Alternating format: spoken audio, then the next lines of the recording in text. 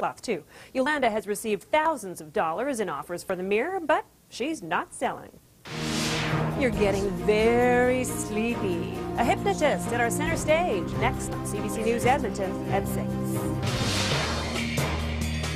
Either of you ever been hypnotized? Nope. Mm, maybe. Maybe. Okay, all right. We won't say any more. I don't know if it's something I do in public, but we had one drop by our center stage this afternoon. Hmm. I want you to imagine right now your eyes are crazy glued together right now. Scott Ward used his powers of suggestion to keep the crowd laughing as he hypnotized his volunteers into doing some pretty Feel the strange wind things. in your hair right now. I want you to imagine you're on the tip of the ship. You feel like you're the king or queen of the world right now.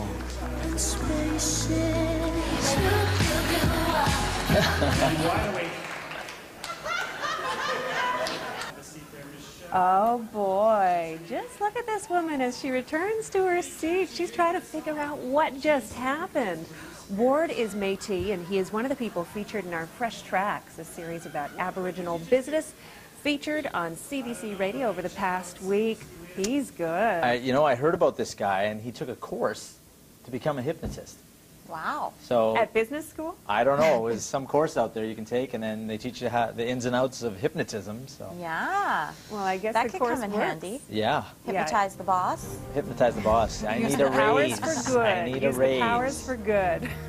Thanks everyone for tuning in. See you tomorrow night at 5:30. 5:30. We're on 5:30. That's right. tomorrow. Game four. Good night. Good Good night. night.